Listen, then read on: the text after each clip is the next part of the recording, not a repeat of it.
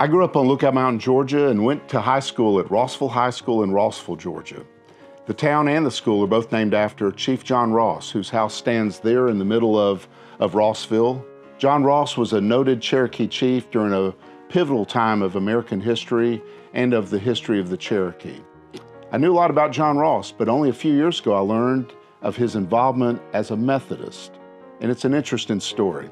The Methodists have been interested in, or had been interested in reaching out to Native Americans since the beginning of the Methodist movement. John Wesley came to Georgia in 1735, among other reasons, to help spread the word, to preach the gospel, to convert, if possible, the Native Americans. Needless to say, that trip turned out a little differently than, than he thought it would, but the die was cast and the, and the Methodist circuit riders and the beginning of Methodism in this country were always interested in reaching out to the Native Americans in their, in their area. In the Holston area, that meant the Cherokee. In 1800, William Lambeth was appointed in the Holston area to the, serve as the missionary to the Indians in the wilds of Tennessee. In 1827, John McFerrin, a famous name in Holston, was appointed missionary to the Cherokee. Noted Cherokee speakers and pastors included around that time Turtle Fields, Arch Campbell, and John Fletcher Booth. The Methodists were also involved in many of the missions that were taking place both in the Brainerd area around what's now Chattanooga, as well as Spring Place and other mission schools in North Georgia. Holston Conference officially took up the Cherokee work in 1835 when it was transferred in from the Tennessee Conference.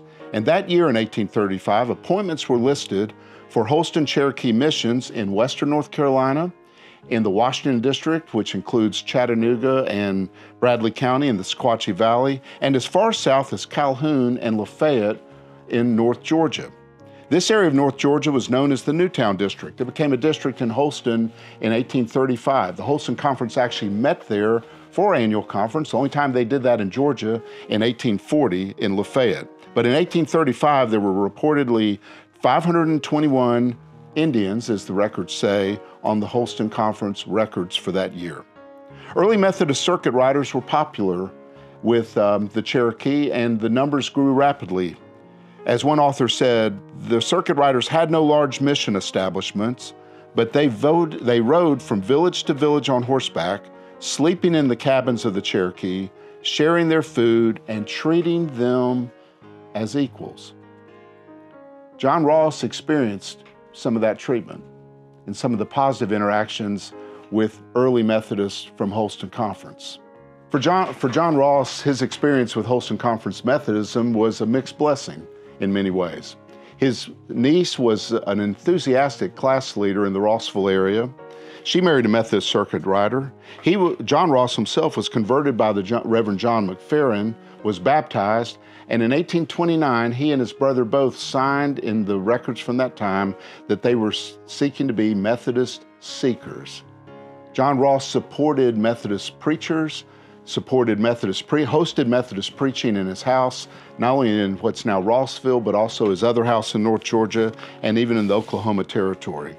John Ross and the other early Cherokee would find much positive in Methodism and in their interaction with the people of Holston. But Methodists were also among the great numbers of new arrivals who coveted the Cherokee lands in Tennessee, Georgia, and Alabama, and supported President Jackson's efforts to move the Cherokee out west. A few years later, in the late 1830s, John Ross, Turtle Fields, and other Cherokees would join together along with some of those missionaries and some of those circuit riders and travel on the Trail of Tears to Oklahoma. Several of them died on the trail. Ross's wife died as well. Thousands of Cherokee and Cherokee Methodists passed away on that journey.